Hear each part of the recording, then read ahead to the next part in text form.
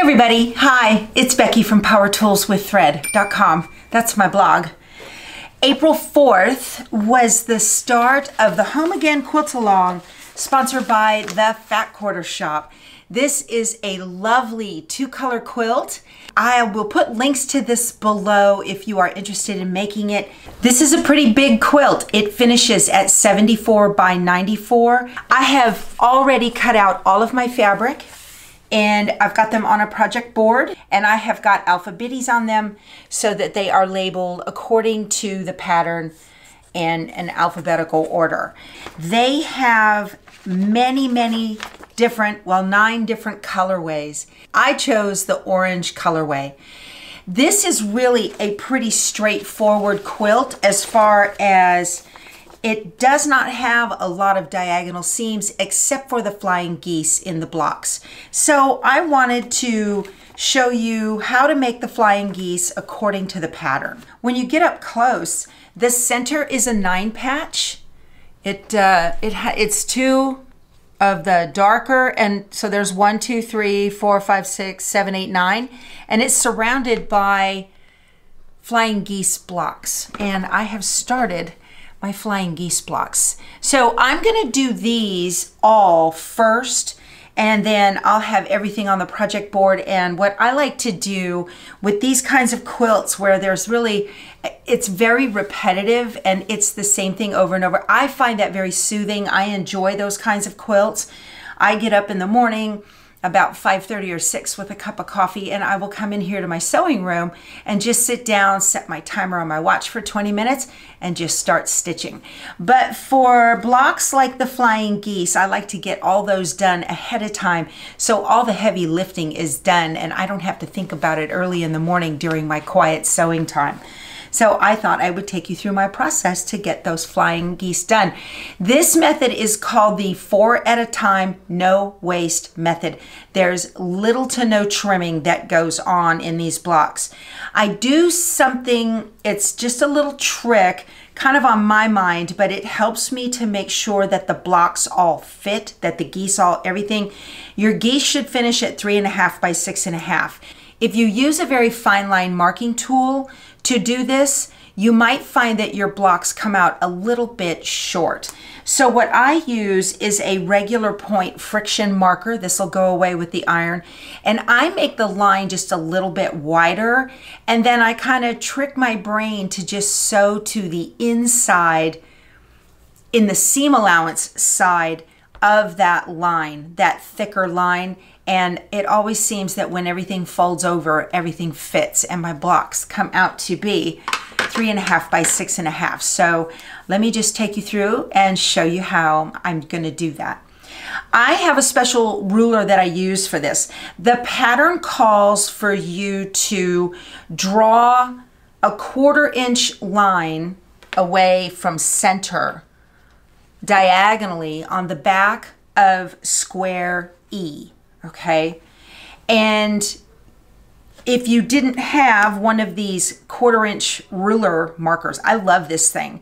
I don't use it all the time, but I love that when I need it, I have it. So this one is by Creative Grids. I will link to it below. It's at the Fat Quarter Shop. What you can do is just take a regular ruler and you would put the quarter inch mark exactly corner to corner on the ruler and then draw a line beside it.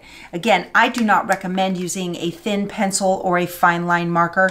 Um, it just is easier on your eyes if you use something just a little bit wider.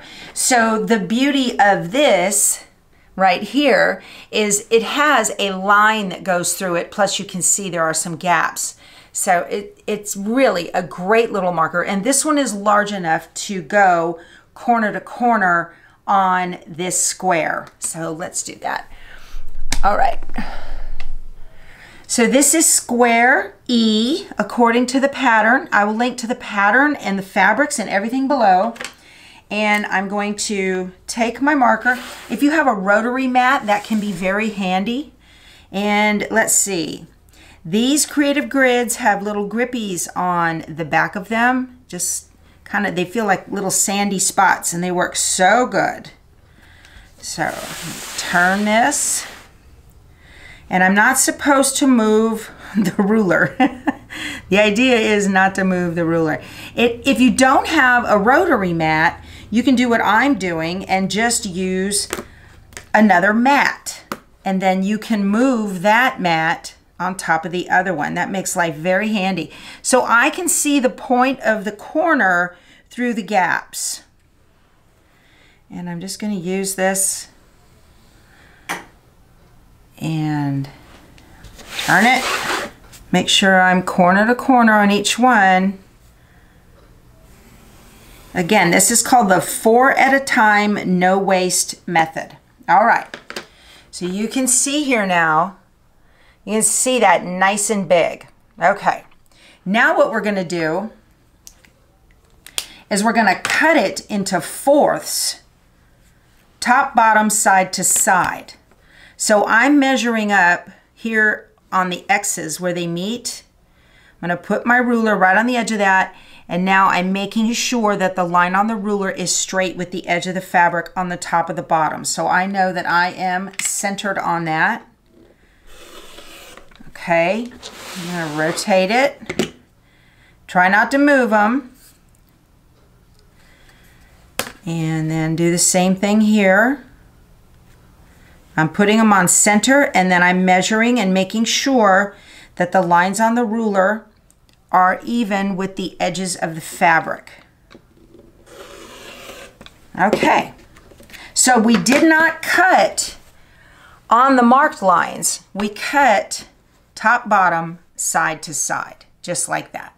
All right, now we are going to take fabric square A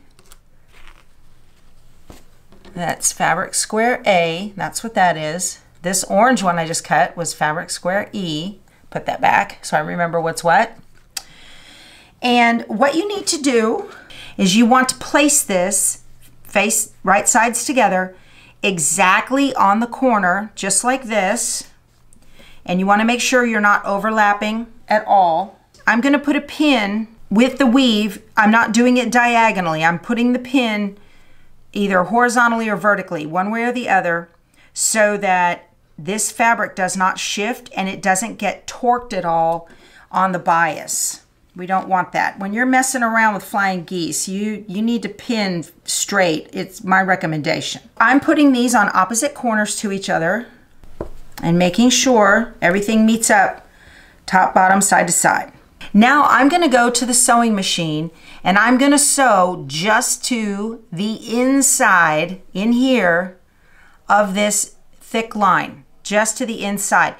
That's actually going to give me, we I've talked about it in another video, what is called turn of cloth for this to flop over. And it might look real confusing right now. This does not look like flying geese at all. And when it's all said and done, these two don't have anything to do with each other. So right now, we still have these other two.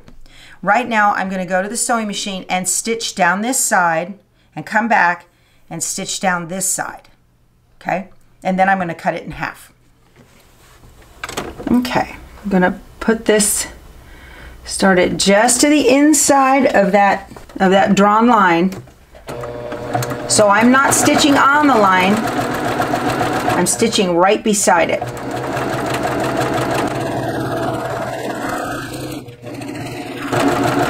Now I'm going to cut my thread. Some people like to just give it some slack and swing it around and not cut the threads. I don't care for that. It will pull the fabric and torque it. And doing the same thing here, just to the inside of that big line, right beside it.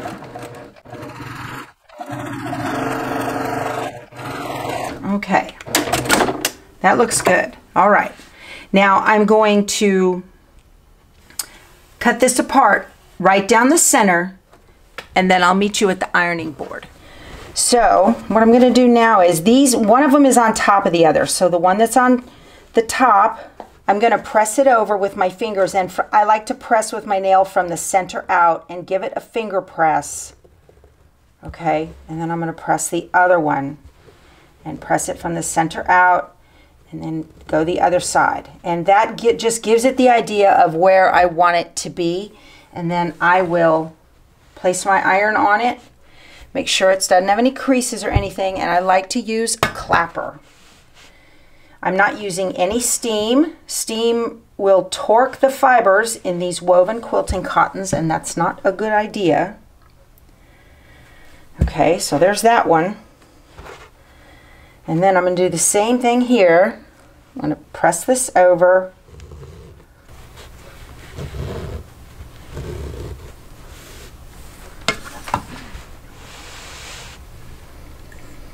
And use my clapper. And that clapper, look how flat everything stays. It's wonderful. This is a Sapporo gravity fed iron. I like this iron because it never spits on my fabric. Okay, so let's go back over to the table and I'll show you how to pin on the next ones. I know it doesn't look like flying geese yet, but just wait. So now, on this open white side over here, I'm gonna take this other one and I'm gonna put it right up to the edges on the top and the side and I'm gonna pin them not on the diagonal.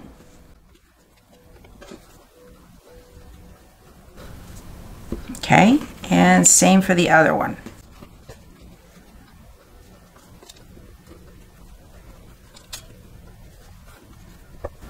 Okay, now I'm going to take this back over to the sewing machine and I'm going to sew just to the inside of that drawn okay. line. Okay, so I've sewn to the inside, right on the inside edge of that drawn line. I'm to remove my pins and cut these apart down the center.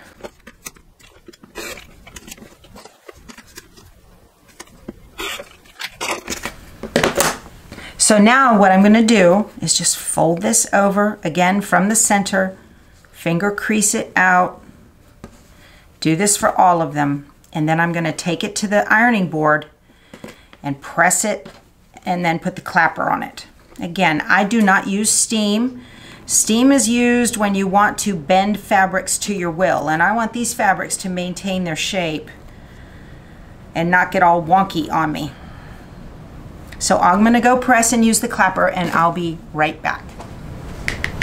One of the things I recommend you do, if you have got a pressing surface that has straight lines on it, I've got wording on my pressing surface over at my ironing station. When I press flying geese points, these are on the bias and so they can go all kinds of wonky. And what I will do is I'll put a point on a line and another and make sure that this is straight on a line and then I'll press it so that it's not pulling up this way or pulling down that way. And then when I put a clapper on it and pull it up, it is straight and all of them came out perfectly straight like that. And the goal is to make it so that this is exactly three and a half by six and a half, not three and an eighth or something shorter than that. So I'm going to use my Quilter Select ruler here and show you. I'm just going to hold, I'm going to put it exactly on top. So I want you to see, hold this up, if I can do it without it slipping. It's exactly three and a half by six and a half. It fits perfectly.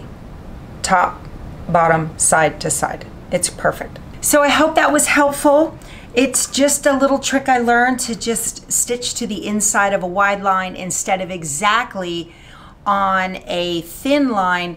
You are going to give yourself room for that fabric to turn over. It's called turn of cloth in the garment sewing world and it applies in every single flying geese unit you will ever make.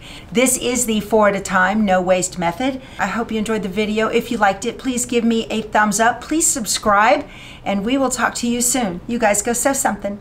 Bye.